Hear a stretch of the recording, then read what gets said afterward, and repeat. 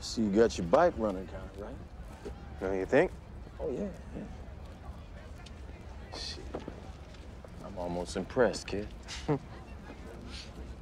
could have got hurt real bad out here, man. Could have got hurt getting out of the bed. True that, but we got rules on the set. You can't just roll up through here with no colors on, pulling tricks, man. People cutting you some slack because of your old man. Tell me.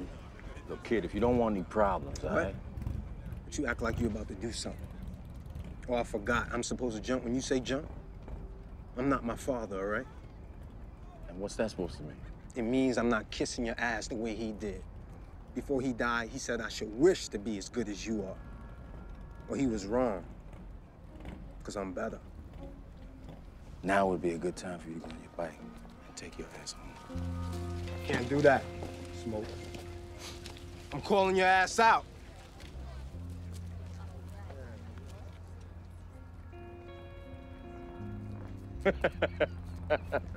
Figured you bitch up.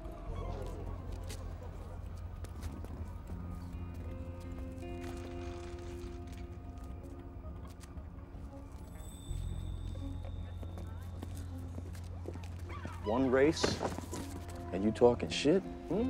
You want a piece of me, kid? Huh? You want a piece of me? Get you some colors.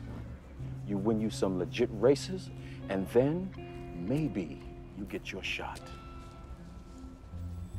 When you step to me, kid, you better come correct.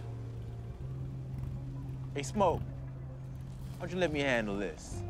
Some happy boy come through messing up one of my events. We got ways of dealing with him. It's all right, TJ. Kid was just breaking out, yo. Get that right, kid. Oh, no doubt.